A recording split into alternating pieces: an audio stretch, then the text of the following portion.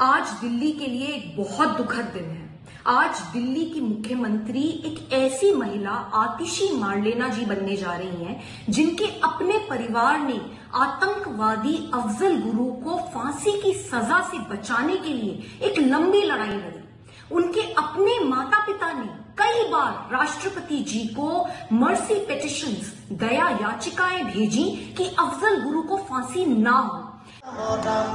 Magnetic sonic.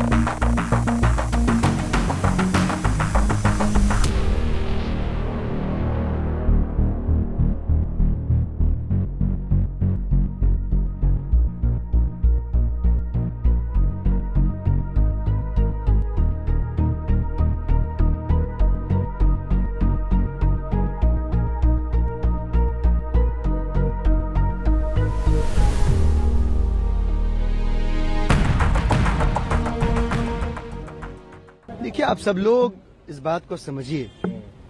Swati Maliwal जी ऐसी इंसान है कि जो राज्यसभा जाने के लिए टिकट आम आदमी पार्टी से लेती हैं, लेकिन प्रतिक्रिया देने के लिए, बोलने के लिए स्क्रिप्ट जो है, वो भारतीय जनता पार्टी से लेती हैं। और मैं तो ये कहना चाहूँगा कि थोड़ी बहुत भी अगर शर्म हो, थोड़ी बहुत भी लज्जा हो तो उन्हें आम आदमी पार्टी का राज्यसभा का टिकट त्याग देना चाहिए।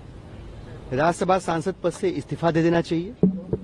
और अब उनको भारतीय जनता पार्टी से राज्यसभा जाने का रास्ता चुनना चाहिए।